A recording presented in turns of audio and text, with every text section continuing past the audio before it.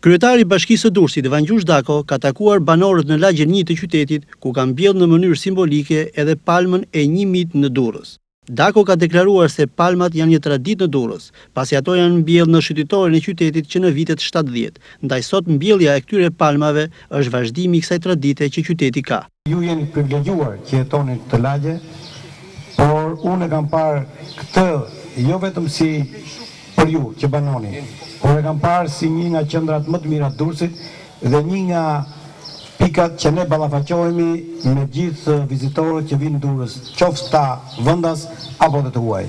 Kushdo që vjen dhe viziton Durrësin, Patjetër do të kalojë në këto mure, në këto rrugë, në këto sheshe të kësaj lagje ku banoni ju. Duke parë gjithmonë me këtë këndvështrim, me këtë prioritet, kemi realizuar disa investime të rëndësishme, të cilët duam ta mbajnë gjallë gjithë këtë zonë, për t'i dhënë mundësi jo vetëm banorëve, por edhe sipërmarrësve, bizneseve të vegjël e të mesëm që operojnë në këtë zonë, të jenë sa më kompetitivë, të kenë ambiente sa më të mirë për të thithur sa më shumë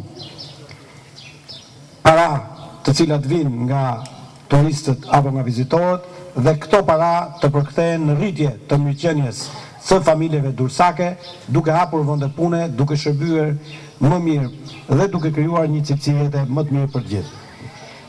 Nga ana tjetër, investimet tona nuk kanë qenë investime të thjeshta.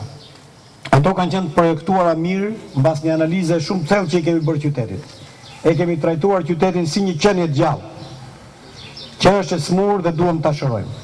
Kjo ka qenë filozofia jonë gjatë gjithë kohës që kemi punuar për Durrësin. I pranishëm në këtë aktivitet të Bashkisë së Durrësit ishte dhe deputeti socialist Blendi Klosi.